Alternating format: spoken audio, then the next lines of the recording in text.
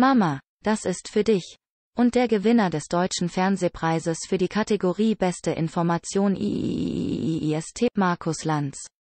Der ZDF-Moderator machte während seiner Dankesrede aber keine große Eigenwerbung, sondern rückt seine Redaktion in den Vordergrund, die eine der besten Deutschlands sei. Und dann dankt er noch einer ganz besonderen 87-jährigen Frau, die in den Südtiroler Bergen sitzt, wie Sie im Video sehen. HBO, alle Infos zum Fernsehpreis, Abräumer und Backstage-Geschichten des Abends gibt es hier für Sie nochmal zum Nachlesen. Sie haben den Deutschen Fernsehpreis 2021 verpasst? Auf TVNOW können Sie sich das ganze Spektakel nachträglich ansehen.